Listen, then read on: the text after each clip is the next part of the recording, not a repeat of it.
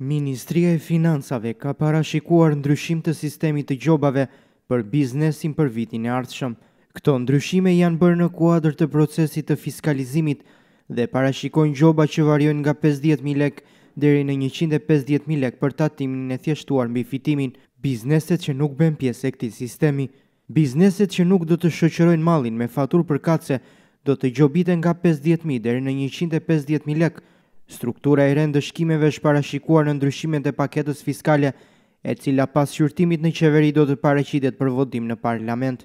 Sipas ligjit aktual, gjoba shkon deri në njëqind për qind të tatimit të padeklaruar të mallit, por duket se edhe në këto raste ka pasur abuzime ndaj dhe është menduar një saktësim i vlerave.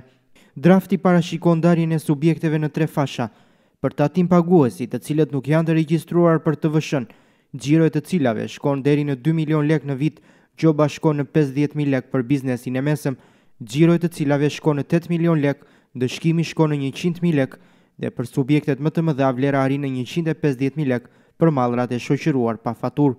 Një tjetër masë është edhe ndjekja penale, kjo në rastet kur biznesi konstatohet për të tretën herë për mosdeklarim të faturës. Po ashtu në projektligjin e ri qëndron masa e rivlerësimit tatimor të mallit, duke rënduar kështu masën ndëshkimore.